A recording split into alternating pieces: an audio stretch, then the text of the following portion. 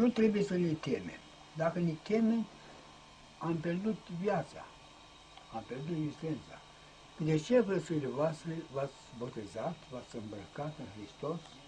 Și în Hristos trebuie să trăim. Ce înseamnă Hristos? Suferința, viața crucii.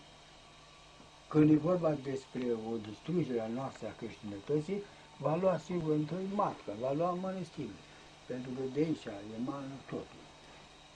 Occidentul le-a luat icoane, a luat Sfânta Cruci, le-a luat uh, mănăstirile și au rămas în haosul în care trăiesc. În sectarism, în budism, în hinduism, în toate influențele străine. De aceea, găsirii uh, voastre, aveți un singur scop să ne mântuim. Și scopul mântuirii vine din străduința noastră, dobândirea Harului Sfântului Duh, prin trăire și prin nevoință. E bună cultura, dar să știți că este și o foarte otrăvitoare. Nu suntem pregătiți pentru a preîntâmpina acest flagel, această iscusință drăcească care este în școala noastră modernă. Iar și mari sfinți care au învățat în școli de păgâne, bă, nu era chiar așa de diabolic uh, cum e viacul nostru, 20-21. Credincioșii n-au nevoie de savanță acum, e plină lumea.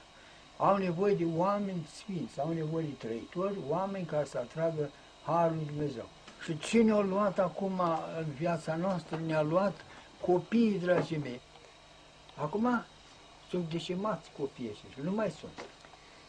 Dacă în sfârșit acum sunt uh, nevoile acestea, nu, la ora actuală nu trebuie mai mult decât să avem ce spuneam și mai înainte, o unitate între noi.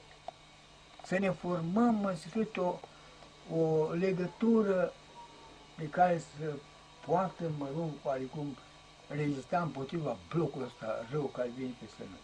Deci unitate dintre noi. Uh, și această unitate nu vine decât printr-o dragoste desăvârșită, printr-o rugăciune de plină și pentru o ascultare.